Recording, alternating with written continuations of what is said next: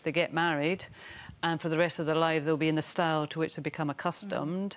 Mm. You know. Well, it is. It is really, really difficult, and I think it comes down to um, what judge you get as well. Because when when me and um, Shane got divorced,